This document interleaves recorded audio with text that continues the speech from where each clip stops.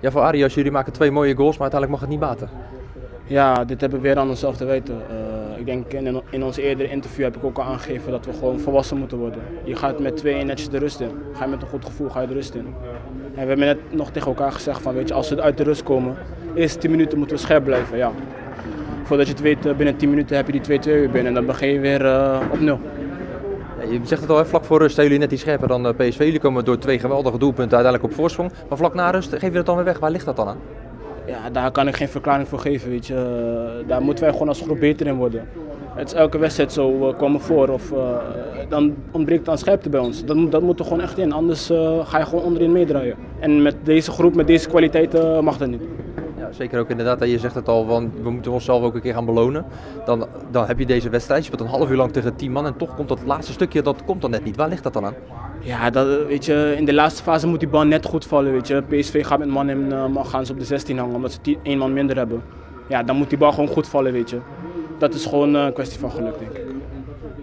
Ja, ik sprak ook even met de trainer. Die zegt ook van, uh, nou ja, we zitten nu al een aantal weken in een fase dat het allemaal net niet lukt. Maar ja, wat moet er nog gebeuren om dat laatste zetje net wel te krijgen? Dat het net wel gaat lukken? Ja, weet je, nogmaals, het heeft gewoon met scherpte te maken. Als je uit de rust komt, als je, of als je de wedstrijd begint, eerste 10 minuten moet je altijd scherp blijven, weet je. Waar ligt het dan aan dat dat niet gebeurt dan? Daar kan ik uh, helaas geen verklaring voor geven. Iedereen heeft genoeg ervaring in de groep, weet je. Is gewoon iets wat bij voetbal hoort. Je moet gewoon altijd scherp blijven, ja. Als je dat niet doet, dan slaat elke ploeg toe.